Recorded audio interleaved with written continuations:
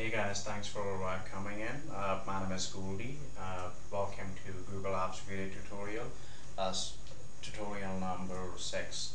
Right, so in our previous tutorial, uh, we have uh, created a CNAME record in our DNS just to make sure that Google can verify our domain ownership uh, and activate the services. So now if you see here, instead of saying up updating, it says the URLs that means now the services are activated so you can go ahead and click on these URLs and uh, start using document sites and, and calendars. Uh, chat is gonna take some time so let's leave it.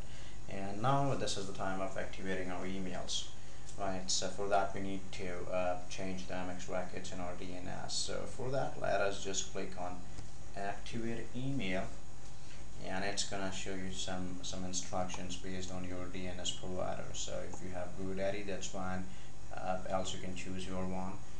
For mine is GoDaddy so let me just trick with that. And if you see here it provides a lot of MX records but you need to enter uh, to your DNS right? So we'll just copy that right from here.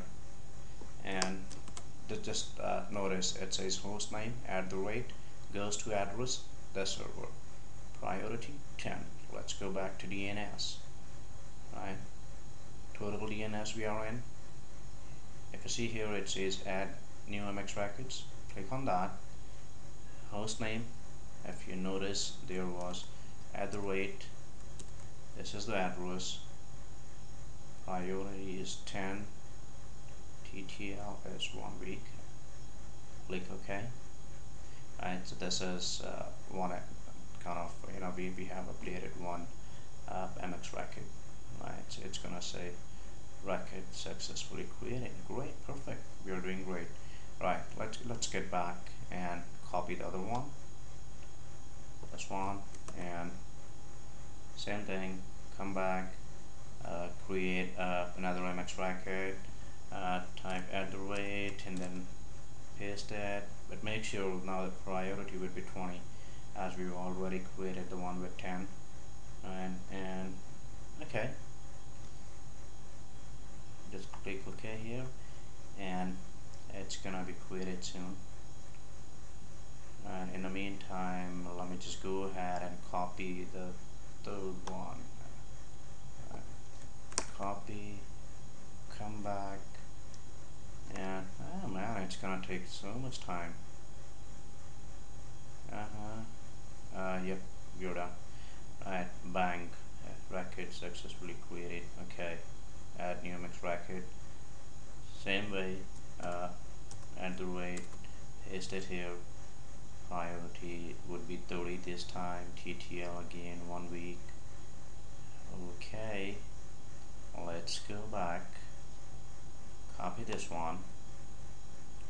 Uh, even you it will also work if you just enter a couple of them but still uh, just to be at safer side it, it, it's better if you you know uh, trying to copy all of that and paste it at uh, paste it here. So it's gonna just take a few minutes and we will make sure that everything would work as expected right so 40 and this as the last one right so let's go back click OK add new one uh, add the rate paste the server address uh, choose it to 50 TTL one week. And okay. Alright uh, so I'm sorry. Alright perfect. You you guys are doing great. Right so we are done here. If you see here it says 10 20 30 40 and 50 and we have all the MX records suggested by Google. And now this is the time to go ahead to Google and tell Google hey Google uh, I'm done with those, those uh, steps. Now go ahead and activate my email. See here guys instead of saying not activate now it says updating. That means uh, Google is now checking your MX records. So Google says this may take up to 48 hours to complete right? But uh, uh, usually it's gonna get completed within a couple of hours so uh, I guess you you guys have enjoyed uh, this this uh, initial phase of our video tutorial series in which we have uh, taught you how to buy domain name and what is Google Apps, what are the different editions of Google Apps and how to set up Google Apps account and uh, how to you know